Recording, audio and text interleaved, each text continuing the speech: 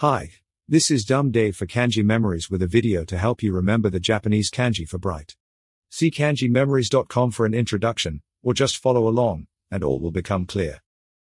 As usual, we start by looking at the green kanji memories card. This kanji has just two simple elements. The element on the left represents the sun, the one on the right is the moon. What a simple idea to represent brightness. And now our kanji memories memory card which is a lovely graphic of the sun and moon together. We put the two cards together.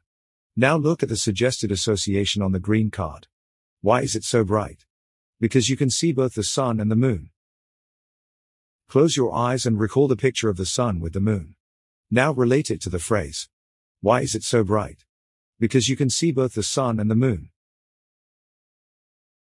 It can also be helpful to pause the video and imagine yourself drawing the kanji until you have it clear in your mind. So, how is this kanji used? Here are two examples. You will shortly hear the Japanese for each, with the second and third repeats spoken slowly. 未来は明るいです。未来は明るいです。未来は明るいです。部屋は明るく照らされています。 部屋は明るく照らされています。部屋は明るく照らされています。And that completes this Kanji Memories video. We really hope that you found it useful, and that you will join us on Twitter at Kanji Memories for the very latest information on other resources.